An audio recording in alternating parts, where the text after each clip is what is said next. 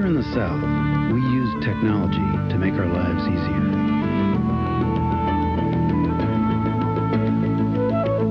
And at Bell South, we've developed one of the most sophisticated communication systems in the world, with more people using more advanced features than ever before.